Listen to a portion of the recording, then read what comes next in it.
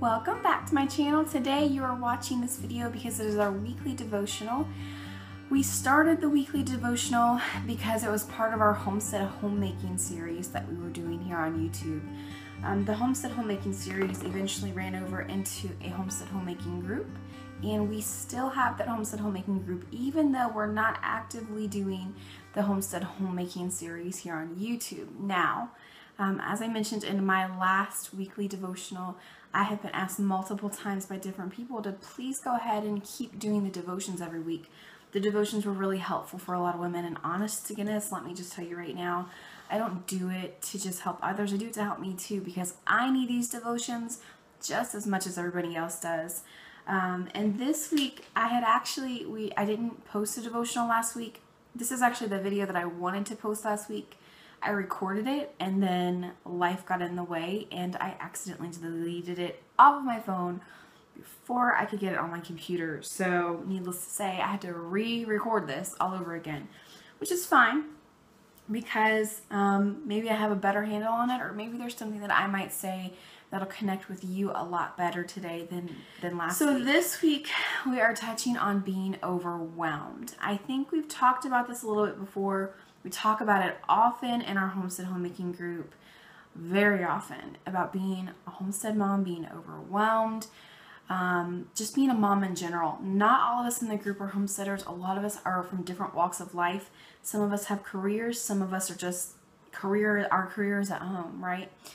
And so, you know, it's not necessarily always just the housework or a farm or something like that it could be emotions, it could be relationships that you're dealing with, and all of this all in one setting, it just gets overwhelming, right?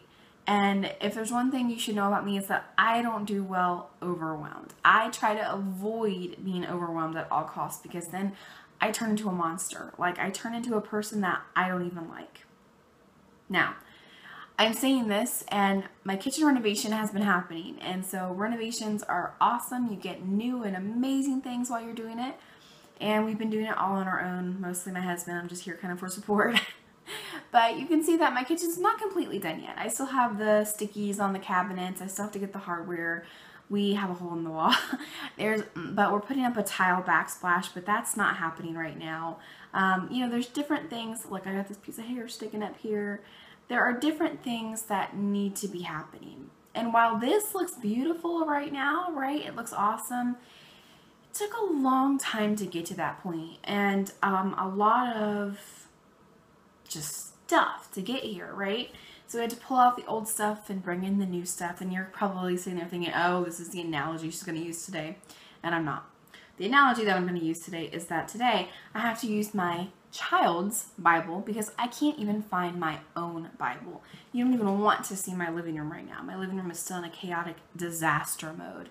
I can't find half the stuff that I need at all. I might have a brand new, awesome, amazing kitchen, but half the crap I need, I can't find, okay? I'm being a mom, homeschool starting soon. I'm way behind on ordering homeschool stuff.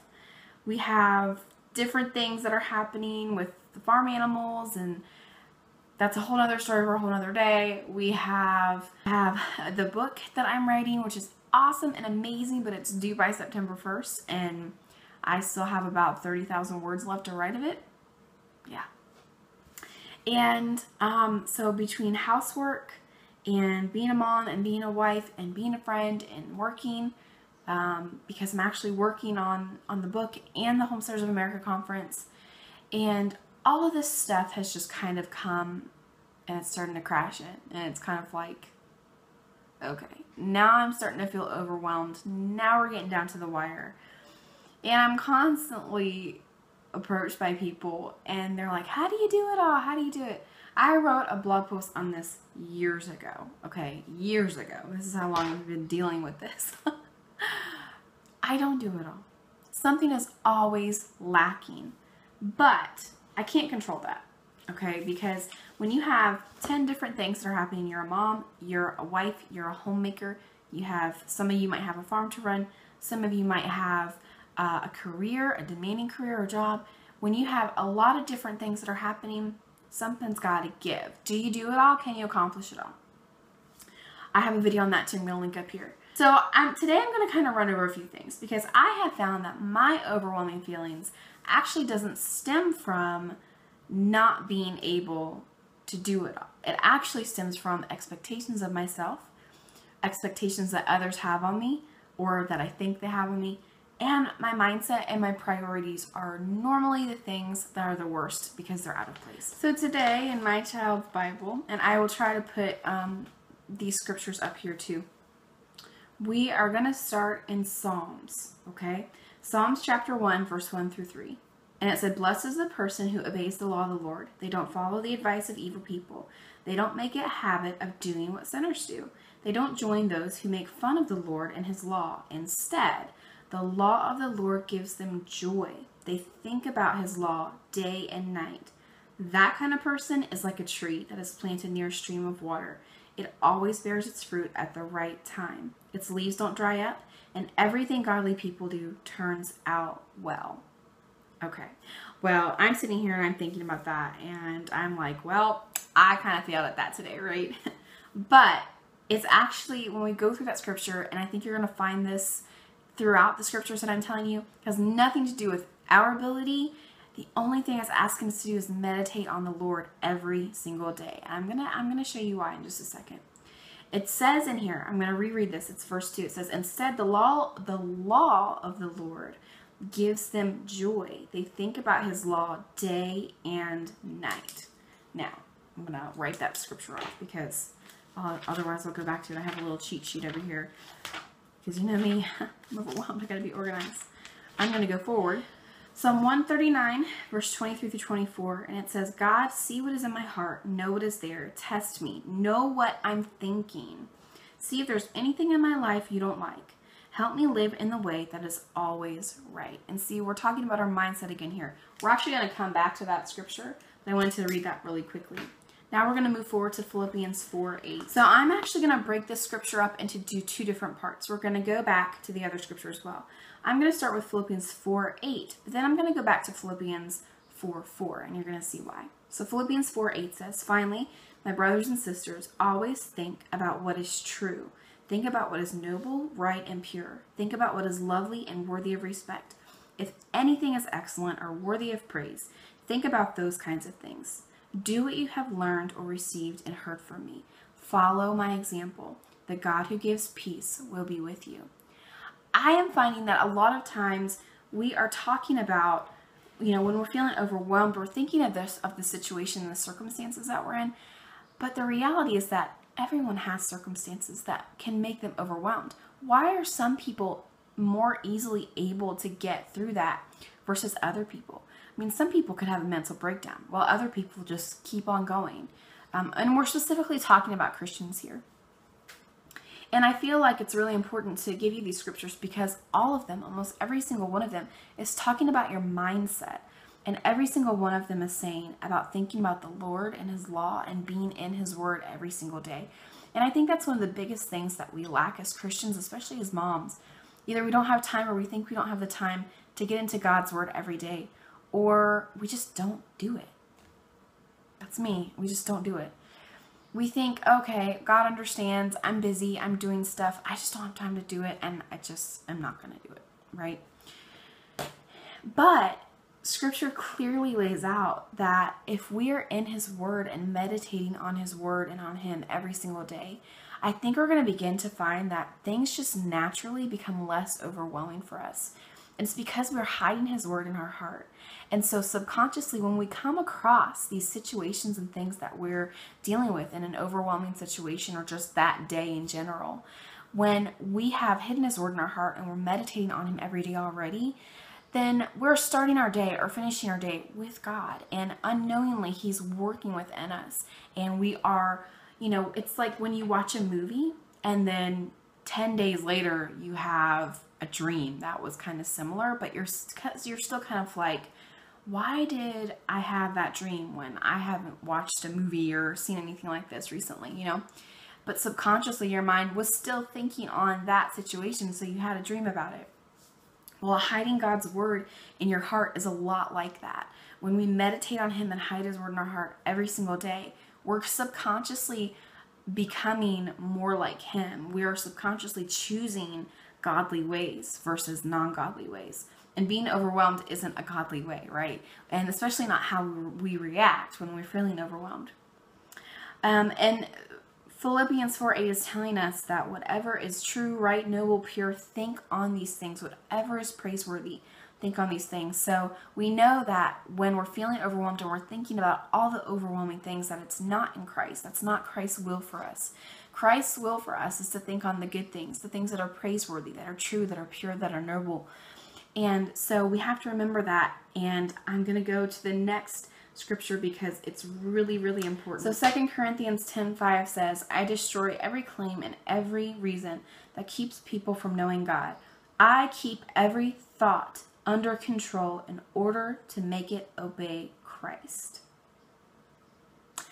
I, and in one of the other versions it says, I hold every thought captive. Okay? And so, very clearly, God put us in order of our own thoughts. And how do we do that? How do we get rid of those overwhelming thoughts and feelings? And it's by hiding His Word and meditating on His Word every single day. So let's go back to Philippians, and I want to read the next part of that, okay? It's actually the first part before the my brothers and sisters, think on what is true, noble, righteous. And, and this is actually starting in Philippians 4 4. The last scripture was Philippians 4 8. Philippians 4 4 says, Always be joyful because you belong to the Lord. I will say it again be joyful. Let everyone know how gentle you are. The Lord is coming soon. Don't worry about anything. No matter what help happens, tell God about everything. Ask and pray and give thanks to Him. Then God's peace will watch over your hearts and your minds. He will do this because you belong to Christ Jesus. God's peace can never be completely understood my favorite part of Philippians 4 8, this was 4 8 through 7, and it says, Don't worry about anything. This is verse 6. No matter what happen, happens, tell God about everything. Ask and pray and give thanks to Him. I think oftentimes, and I'm sorry, my lighting is really weird because I had to turn my light off. And but so oftentimes I think that we think that we're going to bother God with our frivolous things and our frivolous emotions or what we think is frivolous. And in fact, in Philippians 4 6, it says, No matter what happens, no matter what you're going through, tell God about everything. Ask and pray and give thanks to Him. This is a really important reminder because we can we can talk about setting our mind on Christ like things, oh, hiding God's word in our heart, but when it comes down to it, why aren't we talking to God about these situations? Why aren't we talking to Him and saying, you know what, God, I'm feeling really overwhelmed. Could you please help me in this situation? And so Philippians 4 reminds us not only to, to look on whatever's true and noble and pure and righteous and holy in Him, whatever's praiseworthy to think on those things. But even before that, it says, don't worry about anything. Tell God everything. The thing is, when we can go back in some of these scriptures, one of it says, Search my heart, O God, and anything that you don't like, let me know about it. God knows our hearts more than anyone. And so sometimes we think, well, I don't have to pray. God knows what I'm thinking. Sometimes I think that God probably says that in scripture divinely because he knows that it's actually better for us to just pray than it is for him to just know. You know, he wants that relationship with you. He wants that connection with you. Not only is it good for God, because God loves us so much, but it's really good for us because it allows us to talk to someone or anyone um, and really feel peace. And it says, Scripture just told us that we don't understand His peace. His peace is not understandable, it's incomprehensible, but yet it comes and He allows it to rest on us. So we talk, we've, we've talked about you know, prayer and supplication, we've talked about um, feeling overwhelmed and, and changing our mindset and hiding God's word in our heart. Those are really the places that we need to start with this. Well, what happens when it comes down to reality? You know, sometimes we have to be real with ourselves. Sometimes we just make mistakes, right? We we are overwhelmed. We don't want to talk to God. We don't even want to think about God in that moment. What happens then, right? So there are some practical life examples that we can pull from. And we've talked about these before. But there are ways that you can um, avoid being overwhelmed too. You know, sometimes we're like, oh, God will fix it. But then sometimes it falls on us. We got to fix it too. The number one reason I often find myself overwhelmed is because my priorities are out of place. So with work and, and farm and canning and garden and motherhood and wifely duties and homemaking, you know, I have found that when my priorities are not on my home, my husband, and my child, and my priorities are more more on my farm and my canning and which just kind of falls under homemaking. But um, when it's more on work, especially work, then I'm finding that I become more overwhelmed. And so God put in place priorities for us, and He put in place standards for us as women, as homemakers, if you're a homemaker. And it's always has been first child, second home. Home. Everything in the home is is coming first. I have found that when I'm focusing on my home and my family first, then I'm not as overwhelmed and stressed out. It's just the truth. Just it's just the truth. And now I don't always like that because I enjoy working. I enjoy having a job. Um, I enjoy writing. I enjoy planning things. So it's hard for me because those are things that I enjoy doing. And that's great. But when my family becomes less of a priority and my homemaking becomes less of a priority, then that's where I really find the overwhelming feelings come in because then it's overwhelming for my family as well. Now, of course, my family helps me, of course. But there's nothing quite like having a homemaker present in the home. It really kind of makes everything flow together. Uh, your husband needs you, your son needs you, your daughter needs you. Um, or if you don't have kids, you know, your spouse, your spouse needs you as a homemaker, believe it or not. And so that's one thing, you know, prioritizing your time, prioritizing your priorities, um, and, and what you're doing. But the next thing is letting go of what you can't control. Now, I'm not going to mention names because I forgot to ask her if I could mention the conversation that we had. She's on YouTube. Um, and she's a friend of mine. And she had messaged us, me and a, another friend, the other day. And she said, um, I, I'm feeling so overwhelmed right now. She said, I have, I'm canning. Day day in day out that's all i'm doing. She said the garden garden is overwhelming me. Now they have a garden that'll feed them through the winter. Um, i'm canning all day long. When i when i'm not canning i'm freezing. We have homeschool. We have this. We have that. My house is lacking. How in the world am i going to accomplish all of this and um, you know she's having a hard time because her her teenage girl is growing up and she's making college plans and you know, there are a lot of things that are happening in her life. And um, one of the things that I told her was that sometimes in certain seasons of life, you just have to let go, okay? Um, you know, we, a lot of times we get caught up in feeling like we have to do things in the event of what if, right?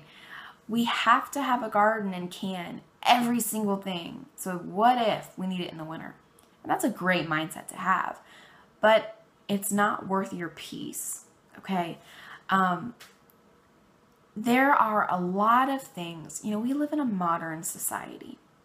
When we try to take um, and really put ourselves back into a, a non modern society, we're going to stress ourselves out because our lives now are a lot different than they were 100 years ago. But at the same time, we have the amenities to say, you know what, I'm going to take a step back. And if I can't can all of my corn, then I will go and I will buy organic corn, right? Um, and so we feel like we have to get all of these things done. And I'm going to tell you, in some seasons, you have to choose your priorities. You have to choose what's going to get done and what's not going to get done. Because for a lot of women, including this friend of mine and myself, we still work. We still hold jobs that are outside of the home. Some because we choose to. I choose to. I don't have to, but I choose to. Some because um, We have to. And we're in seasons of life that look a little bit different than our grandmothers, great grandmothers, great great grandmothers. And so I was telling her, I said, you know, your daughter, you have three more summers with your daughter. I think she only has three more summers. Are you going to spend those summers stressing out because you have a garden that is really, really big and can feed you all winter, um, which is awesome, but is all your time going to be spent on that? Or is it going to be spent on spending these last three summers with your daughter? And so it might look something like having a smaller garden the following year, right? Not not getting rid of the garden. That's not what I'm saying, but having something more manageable. It could look like quitting a job or simplifying a job. You know, our seasons change as homemakers. We begin our seasons as new wives, and our homemaking season in that way can be really good or really bad because in my case, I didn't know how to be a homemaker. I'm still learning how to be a homemaker. And then we go into motherhood, parenthood for many of us. And we have messy floors and sticky countertops. And I know a lot of people are calling me crazy for redoing my kitchen, but you know what? I wanted a new kitchen. I wanted it. I did. I I wanted a new kitchen. I haven't had a kitchen like this ever the entire 11 years we've been married. And so I wanted it. And I got it. But, you know, there are seasons that we go through, and sometimes we just have to let it go, right? So maybe you're letting go of a garden. Maybe you're letting go of a job. Maybe you're letting go of a hobby. Maybe you're letting go of expectations of yourself, right? Maybe you're letting go of expectations of your spouse or your kids. Whatever it is, there's something that could be bothering you, making you feel overwhelmed. Maybe we need to look at letting it go for a little while and then coming back to it. Doesn't mean you're going to let it go for forever. That does mean that you can let it go a little bit and reprioritize. And it's okay to do that. It is. I promise. For me, it looked like letting go of a job last year. I let go of a job and I picked up another one, but it's a lot different. Um, I let it go. And it brought me so much peace and allowed me to learn how to be a better homemaker because I had more time at home and I had more time to focus on my family. Um, it looks like me only choosing four things to plant, big crops in my garden. And I only have a kitchen garden, but I'm getting a lot from that garden this year. Um, versus a big gigantic garden that I couldn't keep up with because of the season that I'm in right now. I'm in a busy season. I'm in a busy season of life, not like summer, fall, spring, winter, but I'm at a peak time in my career, in my life. Um, maybe I just got to let it go for a little while, you know? Maybe I got to let something go. It depends on the person, it depends on their situation, it depends on what's most important to them. Um, for us, the garden isn't, you know, it's really important to me, but I also know that I have a lot of stuff that I can lean on from local farmers and have canned from them and orchards and things like that. Um, I don't know. I don't know what it is for you. But anyhow. So those are the three things I wanted to talk to you about today about being overwhelmed. It's it's changing your mindset, hiding the word of God in your heart, and changing your mindset to reflect godly mindset instead of your own. Starting there, reading the word, getting into the word every day, and thinking on things that are praiseworthy. When the dog runs across the floor, or when you are stressed out from canning, or when you haven't ordered your homeschool stuff like I haven't yet. Yeah. There are things that you have to prioritize and have that mindset, or else you're going to lose it, right? The next thing is priorities, putting your priorities in place. Homemaking and family and husband and children come first. And then the homestead and um, you know, to to an extent. Obviously, gardening and canning is part of homemaking. Um, and then it's just letting go. You know what? At the end of the day, if you can't do it all, don't. Get rid of something. If there's something that is not really important that you could let go of, let it go, girl. Let it go. It's not worth it. It's not worth it. So that's it for me today. That's this week's devotional. I hope you enjoyed it. Um, I'm going to try to get these up every single week, but again, it depends on if I have technically challenged mine that day or if I even have time that day. So I promise everyone keeps asking to do a kitchen tour. My kitchen's not done yet. Um, I'm not even sure the backsplash will be done this year. It might be winter time. Um, but I will try to do a quick tour um, sometime in the next couple weeks once I get the hardware for my cabinets and pull the film off and all that stuff. So hope you guys have a great week. Happy homesteading and happy homemaking.